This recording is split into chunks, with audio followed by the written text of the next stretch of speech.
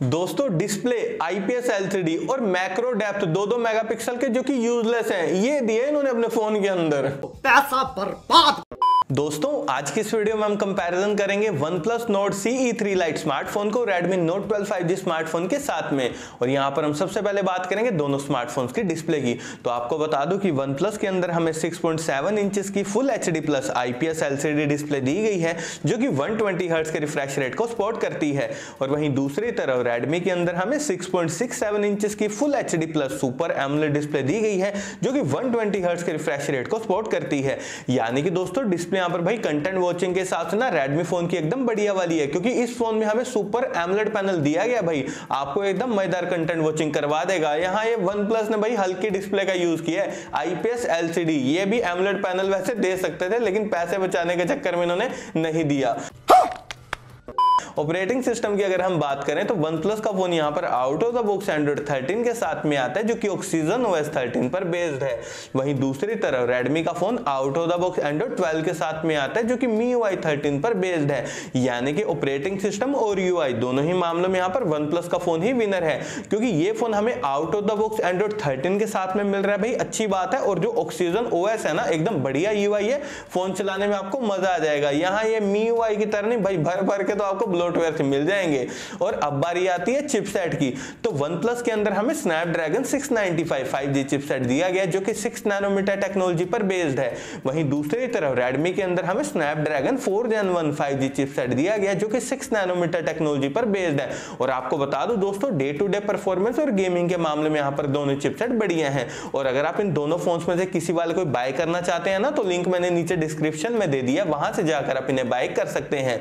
और अब बारी आती है बैक कैमरा सेटअप की। तो दोनों स्मार्टफोन्स के बैक में हमें ट्रिपल कैमरा का सेटअप दिया गया है। और सबसे पहले हम बात करेंगे वन प्लस की। तो इस फ़ोन का मेन कैमरा 108 मेगापिक्सल का मैक्रो कैमरा है 2 मेगापिक्सल का जो डेप्थ कैमरा वो भी है 2 मेगापिक्सल का।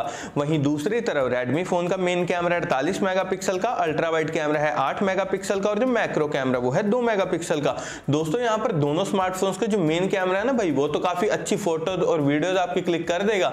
लेकिन यार वन प्लस फ़ोन के अंदर वही हमें दो का मैक्रो दो का डेप सिर्फ़ यूजलेस कैमरा दिया इसका कोई फ़ायदा नहीं है। इसलिए दोस्तों, अगर आपकी प्रायोरिटी भाई अल्ट्रा वाइड कैमरा भी है ना, तब आप यहाँ पर डेफिनेटली रेडमी की तरफ़ ही ज़रूर से जाइए। और अब बारी आती है फ्रंट कैमरा की तो वन के फ्रंट में हमें सोलह मेगा का सेल्फी कैमरा दिया गया वहीं दूसरी तरफ़ रेडमी के अंदर हमें तेरह मेगा का सेल्फी कैमरा दिया गया है। भाई सेल्फी लवर्स के हिसाब से यहाँ पर दोनों स्मार्टफ़ोन बढ़िया हैं। और मैक्सिमम वीडियो रिकॉर्डिंग आप दोनों फ़ोन के फ्रंट और बैक कैमरा से 1080 पिक्सल तक ही कर सकते हैं। बैटरी डिपार्टमेंट की अगर हम बात करें तो दोनों स्मार्टफोन्स यहाँ पर पाँच हज़ार की बड़ी बैटरी के साथ में आते हैं, लेकिन फास्ट चार्जिंग स्पोर्ट में यहाँ पर भाई फ़र्क है, क्योंकि वन प्लस का फ़ोन यहाँ पर सतासठ वोट की फास्ट चार्जिंग को सपोर्ट करता है, वहीं दूसरी तरफ़ रेडमी का फ़ोन सिर्फ़ तैंतीस वोट की फास्ट चार्जिंग को सपोर्ट करता है। इसलिए दोस्तों, अगर आपको बढ़िया फास्ट चार्जिंग के हिसाब से स्मार्टफ़ोन लेना है ना भाई, तब आप यहाँ पर डेफिनेटली वन प्लस की तरफ़ ही ज़रूर से जाइए।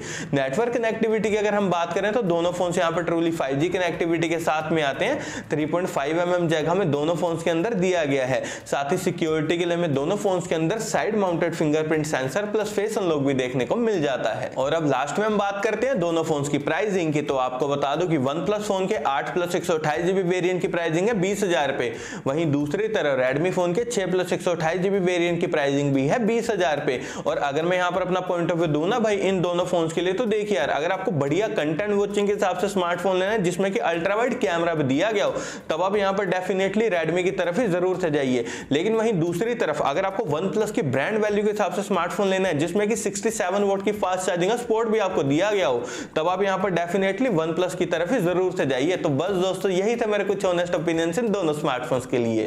फ़िक्र मत कीजिए, कार्यक्रम अभी शुरू हुआ है।